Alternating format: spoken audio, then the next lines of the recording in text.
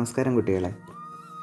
ഇന്നത്തെ കഥയുടെ പേര് ഭയങ്കര രസമാണ് പാത്രങ്ങളുടെ കുട്ടികൾ പാത്രങ്ങൾക്ക് കുട്ടികൾ.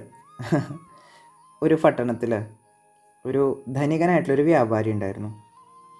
ഒരു രക്ഷയില്ല ഭയങ്കര സ്വാർത്ഥനാണ്. എത്ര സ്വത്തുണ്ടായാലും ഇനിയും പോരാ പോരാ. കൂടുതലുണ്ടാക്കണം കൂടുതലുണ്ടാക്കണം എന്ന ചിന്ത മാത്രമാണ് സദാസമയവും. അങ്ങനെ പണവും സ്വത്തും എല്ലാം വാരി കൂട്ടിക്കൊണ്ടിരിക്കുന്ന ഒരു വ്യാപാരി. അതേ പട്ടണത്തിൽ തന്നെ വേറൊരു മനുഷ്യനുണ്ട്. വളരെ അടുത്ത് തന്നെ ഇദ്ദേഹത്തിന്റെ വീടിന്റെ വളരെ അടുത്ത് തന്നെ. അദ്ദേഹം ഈ വ്യാപാരിയെ നിരീക്ഷിക്കുന്ന സമയത്ത് ഇയാളുടെ കാര്യങ്ങളൊക്കെ മനസ്സിലായി. ഇയാളെ ഇങ്ങനെ വിട്ടാൽ പറ്റില്ലല്ലോ. ഇത്രയ്ക്ക് സ്വാർത്ഥനാവാൻ പാടില്ല ആളുകൾ ഇയാളെ ഒരു പാഠം പഠിപ്പിക്കണം എന്ന് അദ്ദേഹം മനസ്സിൽ വിചാരിച്ചു. ഇദ്ദേഹമാണെങ്കിൽ നല്ല ബുദ്ധിമാനായൊരു പാർട്ടിയാണ്. ഒരു ദിവസം നമ്മുടെ ഈ ചേട്ടൻ നമ്മുടെ വ്യാപാരിയുടെ വീട്ടിലേക്ക് വന്നു. എന്നിട്ട് പറഞ്ഞു വീട്ടിലൊരു പരിപാടി നടക്കുന്നുണ്ട്. അപ്പോൾ കുറച്ച് പാത്രങ്ങൾ കിട്ടിയാൽ കൊള്ളാം എന്ന് പറഞ്ഞു. ഇദ്ദേഹത്തിനാണെങ്കിൽ ആർക്കെങ്കിലും എന്തെങ്കിലും സഹായം ചെയ്യുക എന്ന് പറഞ്ഞാൽ ഒട്ടും ഇഷ്ടമില്ലാത്ത കാര്യമാണ് എന്നിരുന്നാലും അയലക്കത്തുള്ളൊരു ചേട്ടൻ അങ്ങനെ ചോദിച്ചിട്ട് എങ്ങനെയാ കൊടുക്കാതിരിക്കുക എന്ന് കരുതി ഒട്ടും താല്പര്യമില്ലാതെ അദ്ദേഹം എന്ത് ചെയ്തു? കുറച്ച് പാത്രങ്ങൾ കൊടുത്തു.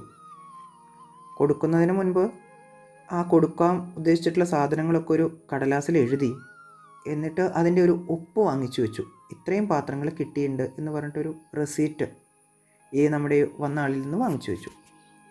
എന്നിട്ട് പറഞ്ഞു ആവശ്യം കഴിഞ്ഞാൽ എത്രയും പെട്ടെന്ന് ഈ സംഭവങ്ങളൊക്കെ മടക്കിത്തരണം അദ്ദേഹം ശരി എന്ന് പറഞ്ഞ് പാത്രങ്ങളൊക്കെ കൊണ്ടുപോവുകയും ചെയ്തു. മൂന്നാമത്തെ ദിവസം നമ്മുടെ ഈ ചേട്ടൻ വ്യാപാരിക്ക് പറഞ്ഞ പോലെ തന്നെ പാത്രങ്ങളെല്ലാം മടക്കി കൊടുത്തു. വ്യാപാരി ആ റെസീറ്റ് എടുത്തു കൊണ്ടുവന്ന് നോക്കി. അതിൽ കൊടുത്ത പ്രകാരമുള്ള സാധനങ്ങളെല്ലാം തിരിച്ചു വന്നുണ്ടോ എന്ന് നോക്കി. അപ്പോൾ എല്ലാം അതിൽ ഉണ്ട്.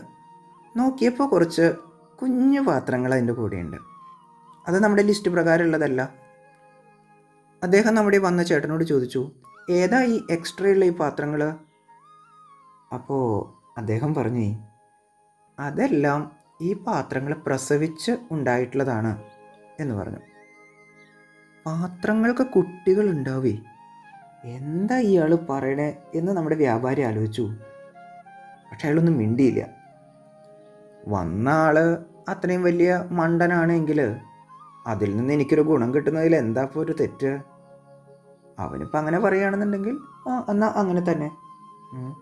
അദ്ദേഹം എല്ലാ പാത്രങ്ങളും എടുത്ത് അകത്തേക്ക് വെച്ചു.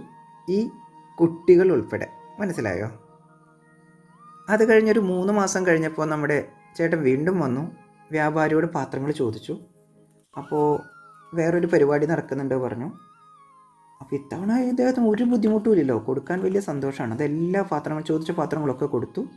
അതിനുശേഷം പോകാൻ നേരത്ത് നമ്മുടെ അയാളോട് ചോദിച്ചു ഇത്തവണയും പാത്രങ്ങൾ പ്രസവിക്കുമല്ലോ അല്ലേ? അങ്ങനെ ചോദിച്ചിട്ട് വിട്ടു. കുറച്ച് ദിവസം കഴിഞ്ഞപ്പോൾ നമ്മുടെ പാത്രങ്ങൾ വാങ്ങിയ ആൾ വന്നു. പാത്രങ്ങളെല്ലാം കൊടുത്തു. ഒപ്പം കുറച്ച് കുഞ്ഞു പാത്രങ്ങളും ഉണ്ടായിരുന്നു. ഇത്തവണയും പറഞ്ഞു ഈ പാത്രങ്ങൾ പ്രസവിച്ചുണ്ടായിട്ടുള്ളതാണ്. ഇയാൾക്കാണെങ്കിൽ ചിരി അടക്കാൻ വയ്യ. പക്ഷേ ഇയാളുടെ മുമ്പിൽ വെച്ച് ചിരിക്കാൻ പറ്റുമോ സന്തോഷം സഹിക്കാൻ വയ്യ. ഇങ്ങനെ ഒരു നാലഞ്ച് തവണ ഇതേപോലെ തന്നെ ഇദ്ദേഹം പാത്രങ്ങൾ കടമായിട്ട് വാങ്ങിക്കൊണ്ടു പോവുകയും തിരിച്ചു വരുന്ന സമയത്ത് കുറച്ച് കുഞ്ഞു പാത്രങ്ങൾ ഈ പാത്രങ്ങൾ പ്രസവിച്ചുണ്ടാവുകയാണെന്നും പറയണ്ടായി പിന്നൊരു ആറാമത്തെ തവണ ഇദ്ദേഹം വന്നപ്പോൾ വലിയൊരു പരിപാടിയാണ് നടക്കണേ പറഞ്ഞിട്ട് കുറച്ചധികം പാത്രങ്ങൾ മേടിച്ചിട്ട് പോയി. ഇദ്ദേഹത്തിന്റെ കയ്യിലുള്ള ഒരുമാതിരി പാത്രങ്ങളൊക്കെ അദ്ദേഹം മേടിച്ചിട്ട് പോയി. ഒരു നാലഞ്ച് ദിവസം കഴിഞ്ഞപ്പോഴേ നമ്മുടെ ഈ പാത്രങ്ങൾ വാങ്ങിച്ചു കൊണ്ടുപോയ ആൾ ഓടിക്കതച്ച് വരിക ഇദ്ദേഹത്തിന്റെ വീട്ടിലേക്ക്. കരഞ്ഞ് പിഴിഞ്ഞ് അയ്യോ ആകെ സങ്കടത്തിലാണ് വരണേ. അപ്പോൾ നമ്മുടെ വ്യാപാരി ചോദിച്ചു എന്തിനാ നീ കരയണേ? അപ്പോൾ പറയണു ഒന്നും പറയണ്ട. അങ്ങയുടെ ഇവിടെ നിന്ന് കൊണ്ടുപോയി എല്ലാ പാത്രങ്ങൾക്കും പനി പിടിപെട്ടു. കുറേ ദിവസം അവർ പനിച്ചു കിടന്നു. എനിക്ക് അവയൊന്നും രക്ഷിക്കാൻ പറ്റില്ല അതെല്ലാം മരിച്ചുപോയി. കേട്ടപ്പോൾ നമ്മുടെ വ്യാപാരിയുടെ മൂക്കം അങ്ങോട്ട് ആകെ വിളറി വെളുത്തില്ലേ? നീ എന്ത് മണ്ടത്തരാടോ ഈ പറയണേ? പാത്രങ്ങൾക്ക് എങ്ങനെ മരിക്കാൻ സാധിക്കുക അവയ്ക്ക് മരണമുണ്ടോ എന്ന് ചോദിക്കുക. അപ്പോൾ നമ്മുടെ ഈ പാത്രങ്ങൾ വാങ്ങിക്കൊണ്ട് പോയ ചേട്ടൻ പറയുക അങ്ങയുടെ വീട്ടിൽ നിന്ന് ഞാൻ കൊണ്ടുപോയ പാത്രങ്ങളെല്ലാം സാധാരണ പാത്രങ്ങളല്ല എന്ന് അങ്ങേക്ക് അറിയാലോ? അവയ്ക്ക് പ്രസവിക്കാൻ പോലും കഴിയുന്നതാണ്. ജനനം കൊടുക്കാൻ കഴിയുന്ന പാത്രങ്ങളാണ് അവയെങ്കിൽ അവയ്ക്ക് ജീവനുണ്ട്. അപ്പോൾ അവയ്ക്ക് മരിക്കാനും സാധിക്കും. നമ്മുടെ വ്യാപാരി ചേട്ടന് ഒന്നും പറയാനുണ്ടായില്ല. ശരിയല്ലേ? നാല് അഞ്ച് തവണ പ്രസവിച്ചു എന്ന് പറയുന്ന കൊച്ചു കുട്ടികൾ എന്ന് പറയുന്ന കുഞ്ഞിപ്പാത്രങ്ങൾ വാങ്ങിച്ച് ഇരുന്നപ്പോൾ ഇത്തവണ മരിച്ചു എന്ന് പറയുന്ന സമയത്തും അത് കേൾക്കാനേ ഇദ്ദേഹത്തിന് പറ്റൂ.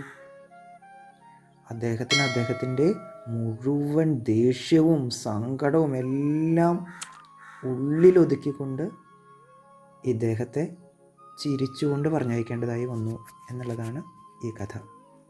എന്റെ എല്ലാ മക്കൾക്കും ഒരിക്കൽ കൂടി നമസ്കാരം. ഈ കഥ ഇവിടെ പൂർണമാകുന്നു.